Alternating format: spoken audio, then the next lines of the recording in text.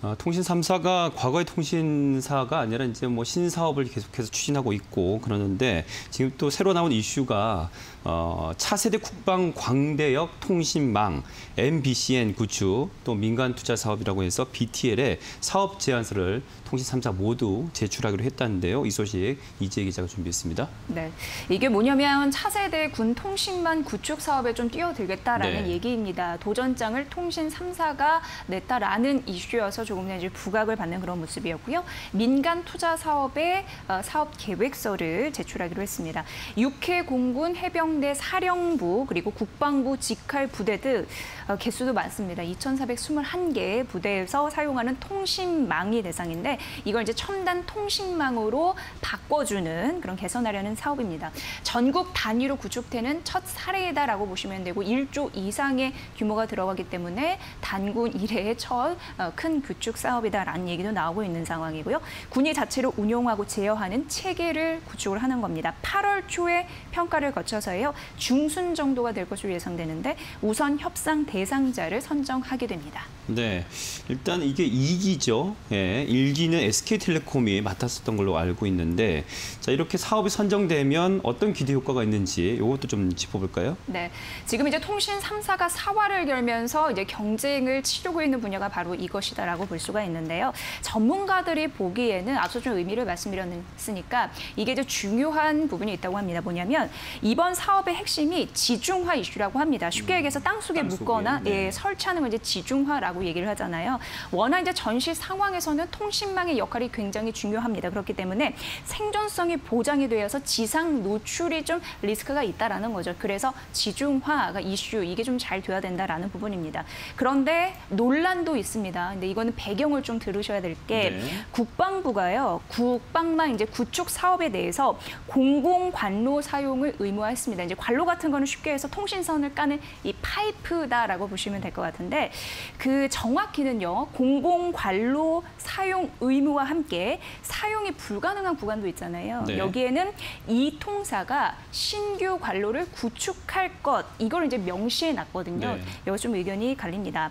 특정 이 통사가 독점하는 것을 막고 공정한 경쟁을 유도하겠다라는 게 이제 국방부의 입장인 것이고 공공관로 사용을 의무 사용 이런 부분에 대해서 좀 말씀드리면 사업을 하는 쪽에서는 이게 총 300km가 되는 통신 선로 시설이라고 보시면 되는데 한 1,700km가 있습니다. 이쪽은 한국도로공사나 교통공사 등 뭐 공공기관이나 지방자치단체 거를 빌려 써라, 임차하라라는 거고 그렇다면 3,000에서 1,700을 뺀 나머지 1,300km 같은 구간에서는 사업자가 직접 어, 관로를 이제 구축을 하는 겁니다.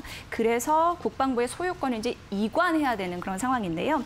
근데 우려하는 입장에서 보면은 공공기관이나 지자체 쪽에서 어, 보유한 관로는 이게 사실 특정 업무를 위해서 구축된 그런 관로이기 때문에 어, 통신 서비스라는 분야를 특정 목적으로 하는 통신사 대비해서는 그 규모가 적을 수도 있고 수행 과정에서 문제가 생길 수도 있다라는 얘기를 하고 있는 거고요.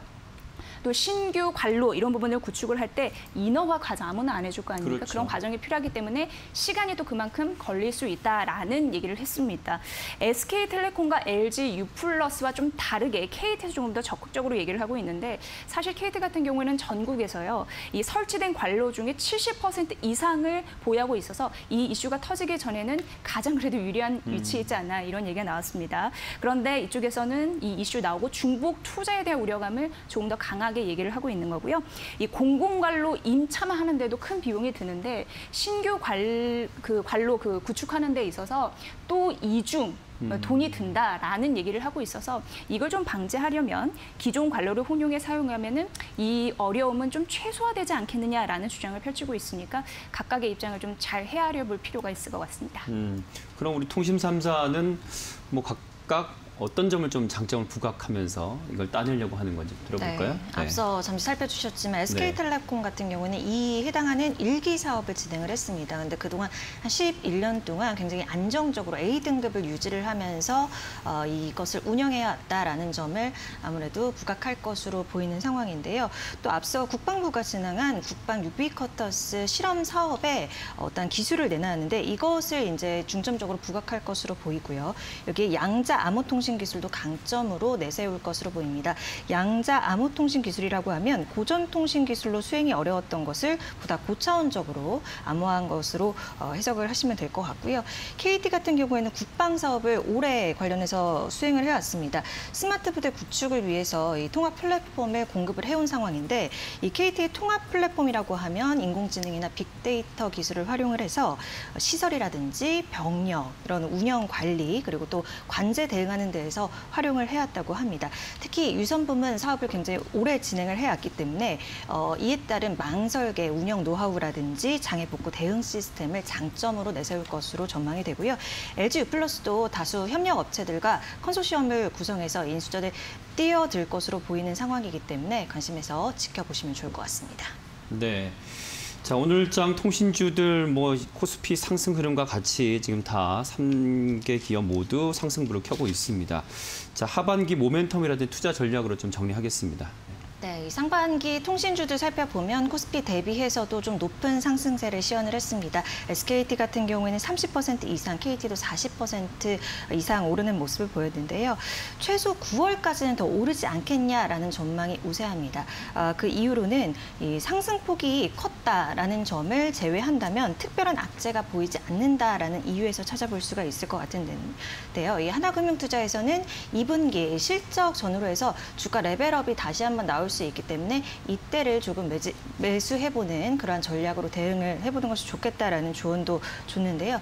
긍정적으로 바라보는 이유는 크게 두 가지입니다. 일단 첫 번째는 이 5G 원년의 시기가 도래했다라는 점에서입니다.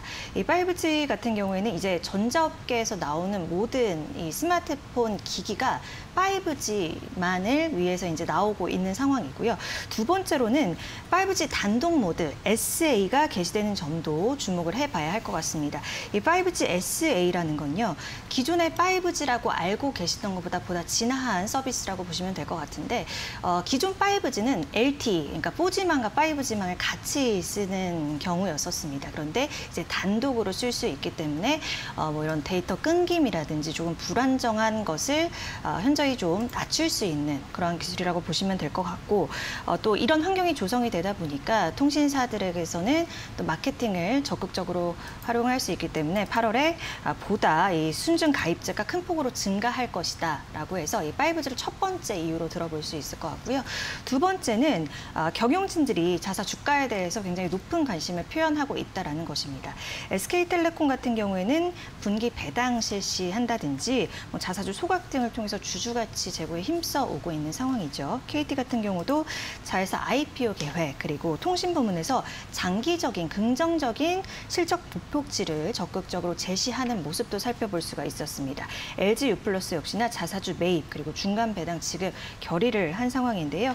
결국 이런 호재들이 주가 전망을 좀 밝게 볼 수 있는 부분이라는 분석이고요.